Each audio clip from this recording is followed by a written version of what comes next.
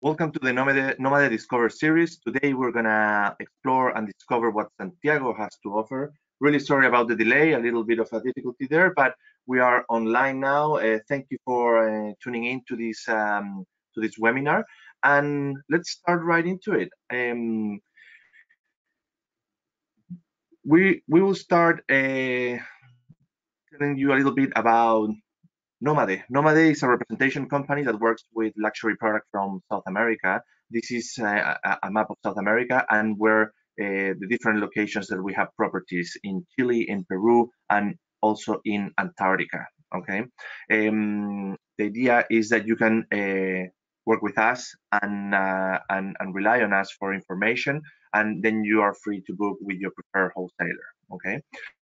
Um, so let's let's start right away and let's get into Santiago, the capital of Chile. Um, I'm Ben. Sorry about that. I'm Ben. Uh, I was born in Santiago um, and and lived there until I was 30, until 2010. So uh, living there and seeing Santiago changing from what it used to be and it was today, it's been an amazing experience. Especially living in Australia and having the chance to actually um, discuss about South America with a lot of people in the industry and and and the passengers as well. Okay. Let's get into some of the details of Santiago. As I was saying, is the capital of Chile in South America. Here you can see a little bit of a, this is the map of South America and where Santiago is located. Um, is uh, in terms of connectivity, in air connectivity, Santiago is really well connected. Uh, it's the gateway to South America. So your passengers will have to, at some point, will have to stop in Santiago when they arrive or depart from South America.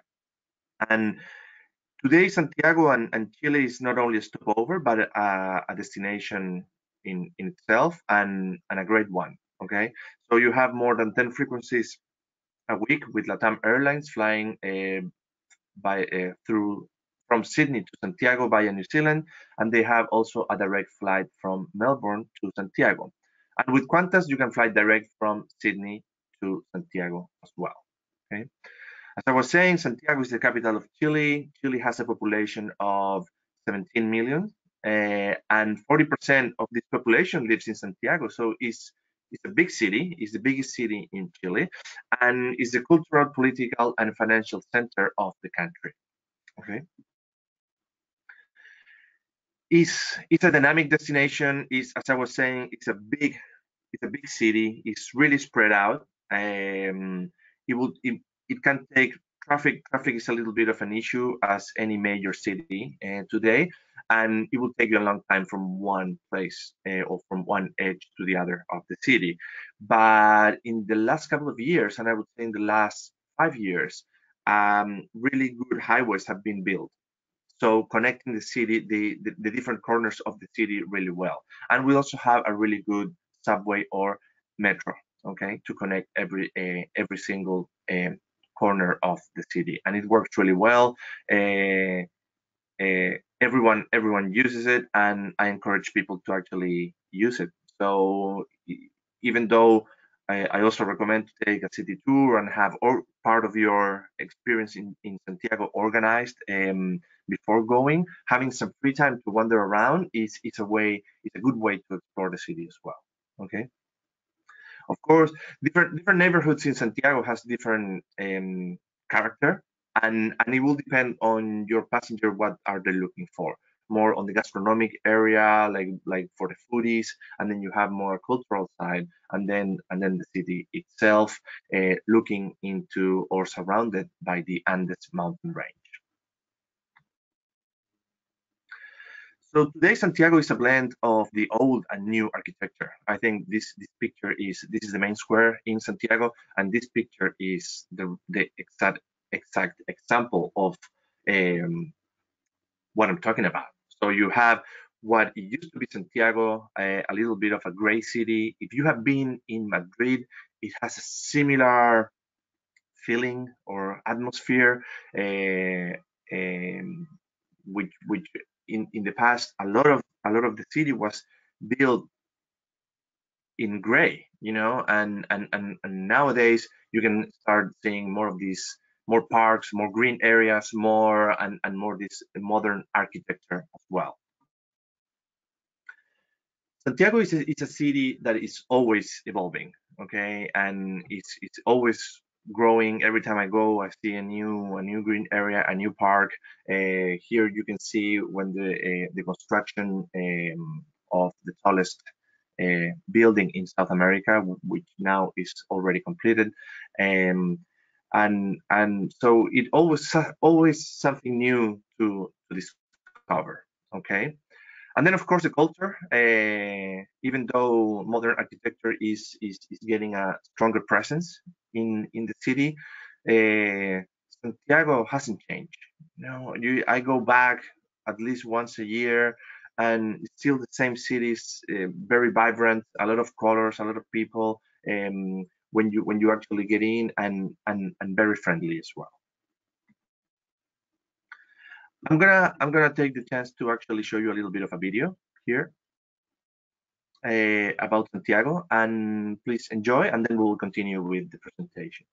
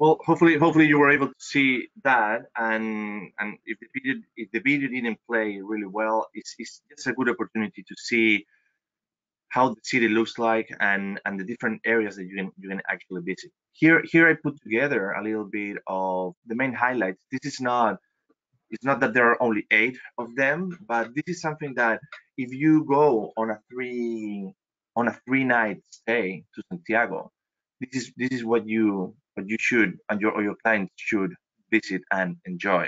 Of course, the Santiago Historic Center, where the main square is located. Here you have the main cathedral of of, of Santiago, uh, being um, a Christian or Catholic country. This is part of the main an, an important site to visit uh, to visit and and and really close is the San Cristobal Hill when you can see Virgin Mary as well and and and again, being a Catholic country, this is part of what uh, the culture and and and the atmosphere that you can feel in the city as well. This is a great place to have a really really good views of the city, um, and it's a good half day half day activity. Okay, you can you, if you are if your clients are more in the active um, experiences, you can actually walk all the way up here. Okay, uh, if not, there's a cable car as well. Okay, of course, the wineries around Santiago, you don't need to actually travel very far, and you'll find wineries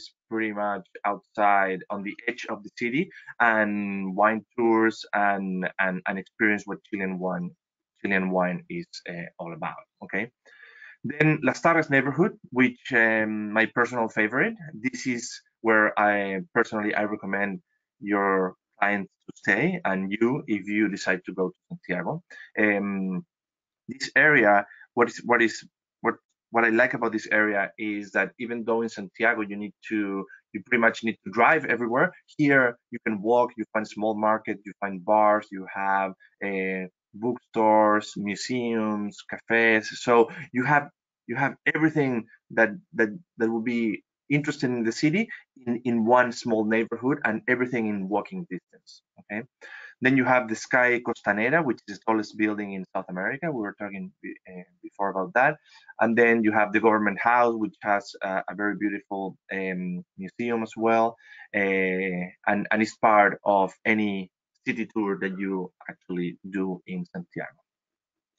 The Central Market, a place that has excellent seafood. Um, the actual building, the construction was designed by Eiffel, the same architect that did the Eiffel Tower.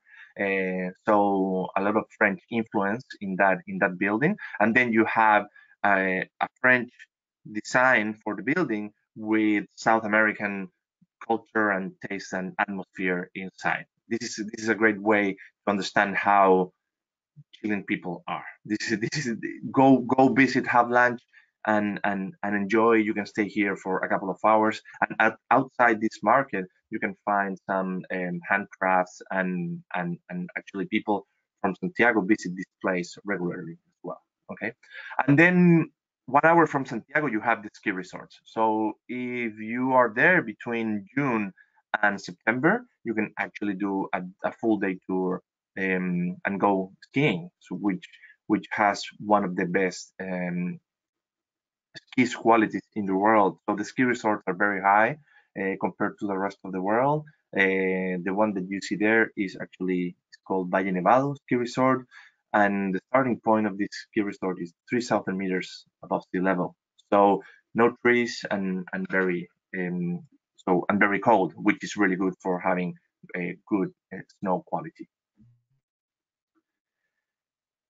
As we were talking about wine, um, very near from Santiago, 45 minute uh, drive from downtown Santiago, you have the Casablanca Valley. And this is something that I always recommend to do. Uh, really good wines, and then you can have a half day or a full day tour into this valley and and enjoy. Here um, on the left side of the screen, you can see a little bit of the map. Here is the the city, and airport right here, and then the Casablanca uh, Valley is here, and you have at least eight wineries that you can visit.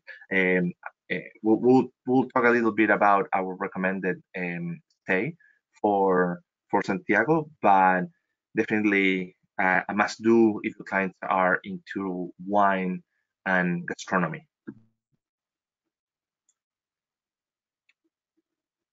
here's a little bit of a map here's um, of Santiago and and the highlights that we checked before and are highlighted here.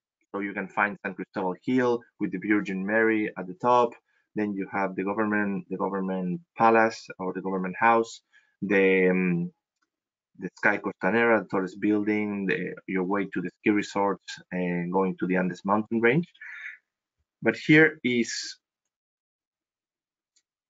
the highlighted area in the screen is where Lastarria's neighborhood is located.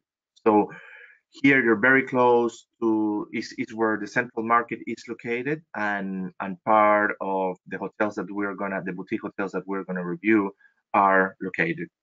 I definitely recommend your, your client to stay here. Across the river you'll find Bellavista neighborhood will which will be more for partying and and and and people that enjoys nightlife and Lastarria neighborhood is more a cultural oasis within this big metropolis. So let's start discussing about where to stay. Okay, we work with two boutique hotels. The first one is called Luciano K, and this is a 38 room hotel um, located in Lastarria neighborhood and is a blend of period and art deco design. Okay, the name Luciano, uh, Luciano K Hotel comes from the architect that designed this building in, in the 1920s. Okay, so the architect is called Luciano Kulczewski, and is the architect that brought the Art Deco movement into Chile. Okay, um, a revolutionary in his time, as I was saying, Santiago, especially when I was growing growing up there in the 80s and early 90s, very great city. Um, and this architect designed this building, and in 1928, when the building was actually open as, a, as an apartment building, he painted the building pink. So, and and you'll see you will will see a couple of pictures of the interior of of, of the building, and it's actually spills Art Deco in in in every corner. This is what the rooms look like from 18 square meters all the way to 44 square meters.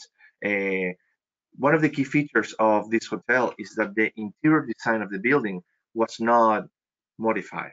So a lot of the a lot of the hotels in Lastarria neighborhood, they have kept the facade of the building and then inside they changed the structure, okay, to have square rooms, allowing you to have more rooms per square meter.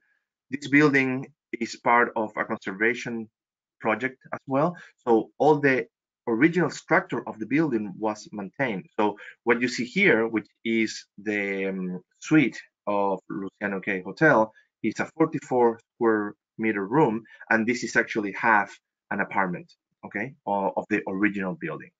You can see if, if, if you start checking a little bit of the detail of, of the design, you see the floors, those wooden floors, original from the 1920s.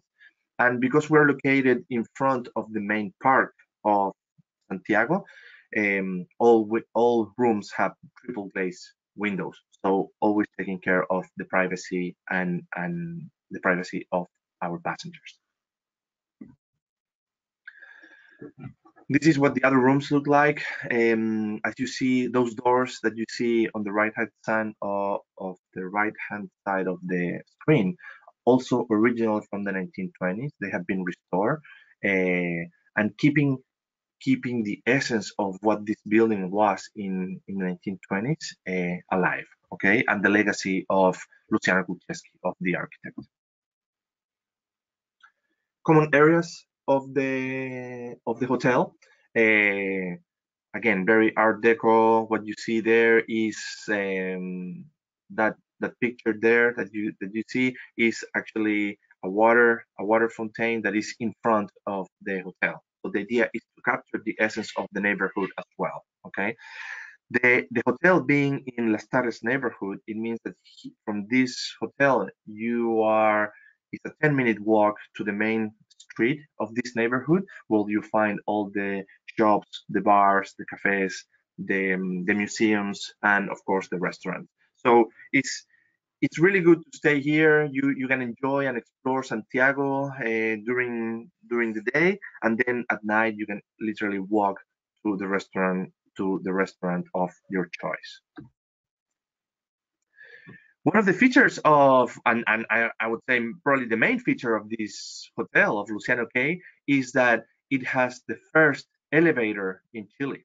And, and, and you can see those um, old French type elevators. And of course, it's an it's an experience. is is uh, it's a trip into the past. We do have a modern elevator at the back for luggage and for people that are checking in our and are in a little bit of a rush of arriving to the room. But then you can actually enjoy and taking your time to to to take this elevator and and understand what uh, what the architecture and the design of of this building is all about.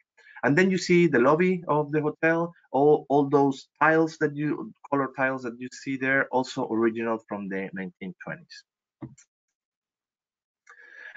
And and and, and finish with Luciano K, this is this is the rooftop bar.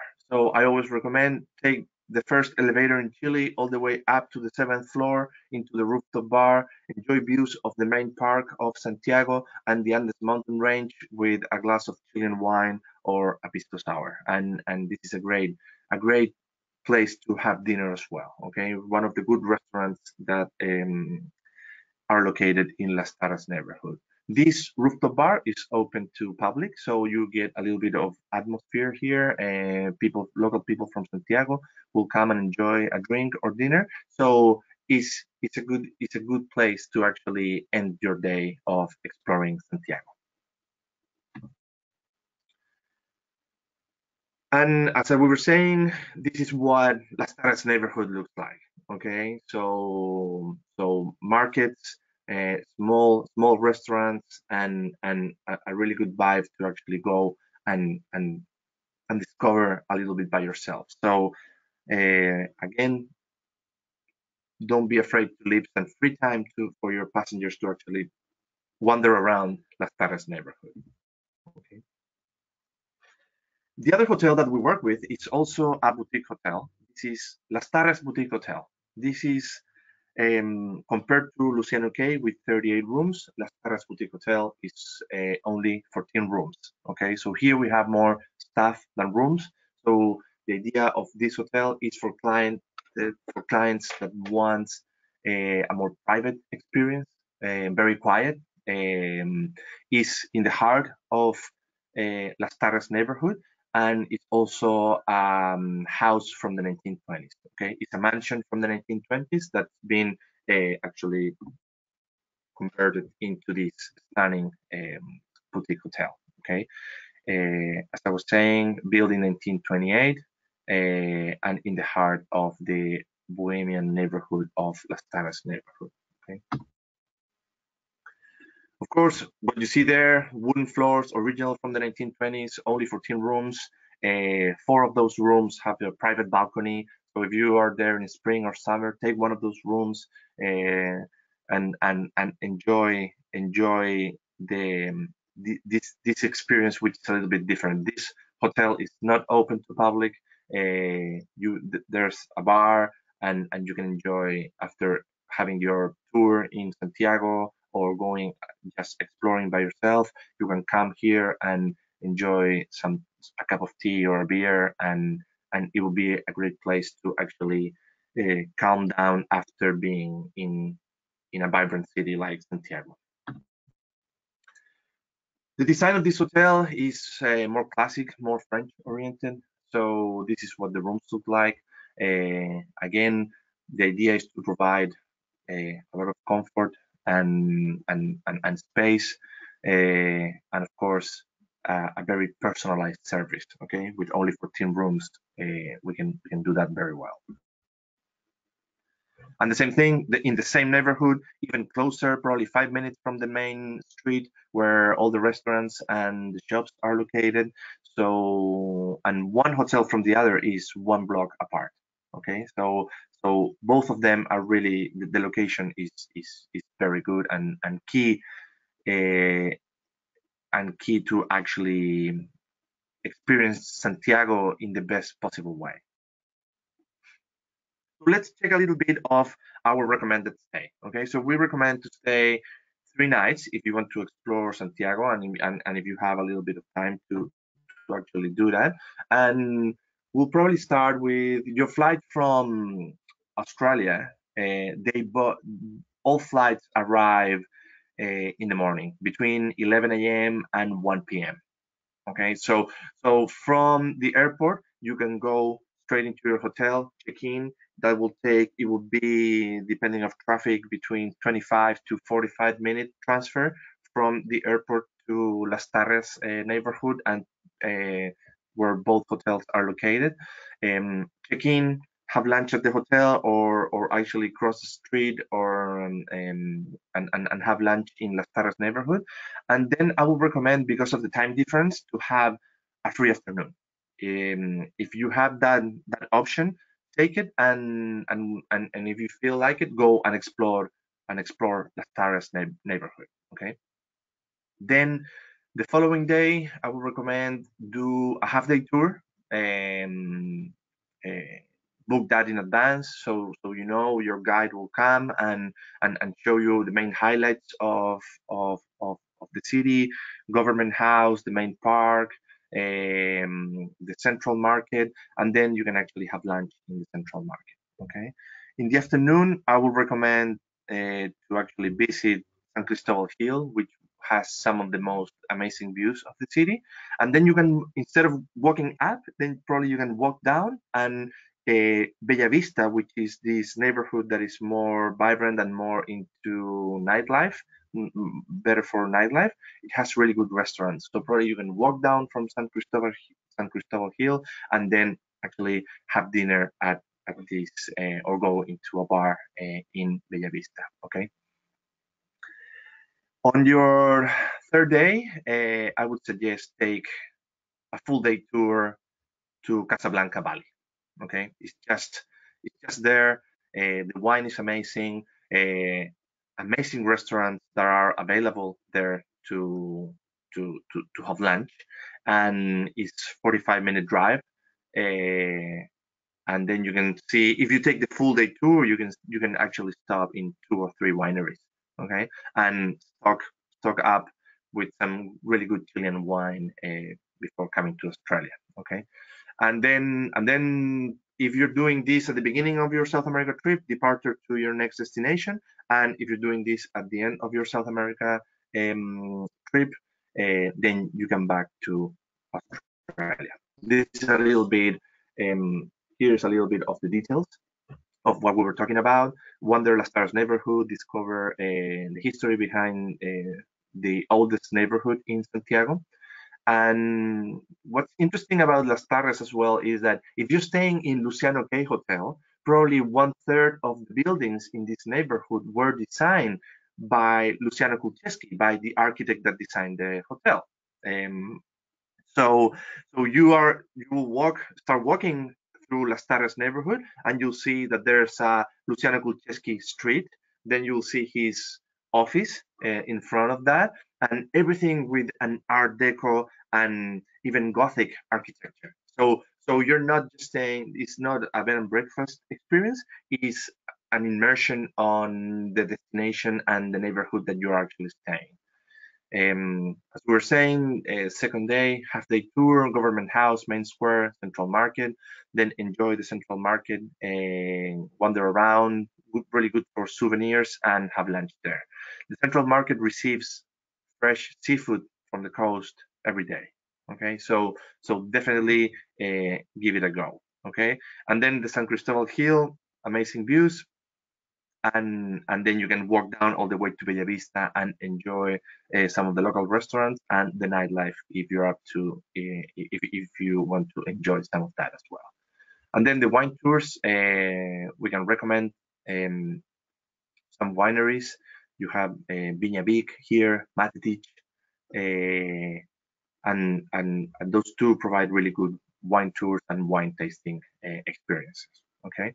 And then um, and then the following day, depending on, as we were saying, depending on what's your next uh, destination, uh, if you have an afternoon flight, um, you can you can go back to wander around again Las Tarras neighborhood and, and enjoy some of that, or even go to some of the um, handcraft markets that are uh, there is not so close to Lastarria neighborhood, but there are some really good handcraft markets uh, in Santiago as well. Then they, they bring all the handcrafts from around the country. Okay, and if it's in the morning, you will have to depart, uh, check, check out, and then just go straight to the airport.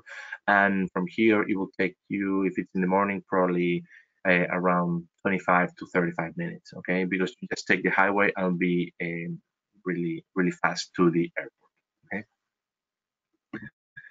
So that's that's our Santiago webinar. I want to once again remind you guys about the Nomade Ambassador program. This is an educational program which is based on our, of course, our blog, our travel blog, and mainly our uh, webinars, um, which will be running this series of webinars, you know, our newsletters, and of course, uh, traveling with us next year. So Today we're doing the um, Nomade Discover Series Santiago Capital of Chile webinar.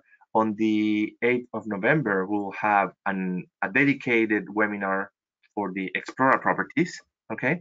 Uh, and on the 29th, 29th of November, we'll have um, um, webinar about this new destination in the Australian market, which is Chiloé, okay? And with Ocio Territorial which is a 15 room boutique hotel in this amazing destination. Um, as I was saying, if you participate in at least four of our webinars, you will have the chance to actually travel with us in our family in May 2019. So make sure you subscribe and and and please uh, any questions that you could have, uh, don't hesitate in in contact me. Uh, here are my contact details, and and thank you again for for tuning in and if there's if there are any questions, please uh, feel free to do those questions now. And and and if not, thank you for for for joining another uh, uh, another webinar of the Nomade Discover series. And um, hope it's been helpful. And we're here to help.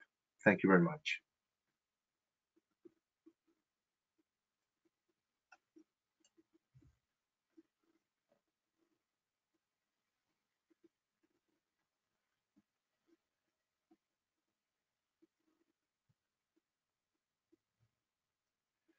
Okay, so there's a question about the rate uh, of the hotels. So Luciano K starts um, at 199 US dollars per room per night, including breakfast. Okay, and Lastarria Boutique Hotel, uh, 250 US dollars um, per room, including breakfast. Of course, it will depend the different their different seasonalities, uh, but that's the starting point. So these these hotels are one of the key things of these hotels that are not overpriced. Okay, so the idea is to provide an amazing experience and an amazing service, but um, keeping cost in mind as well.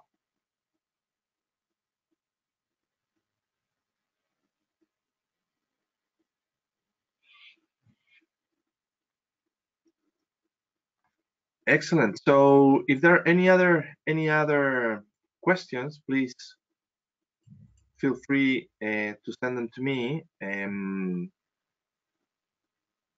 and if not, you have my email is um, is, is there, so you can you can send me you can send me an email, uh, and we, we can we can contact uh, and have more contact over there. If you need um, the details, the fact sheets of the hotels and and high resolution pictures of each property, please let me know. I'll be happy to send you that as well. Okay.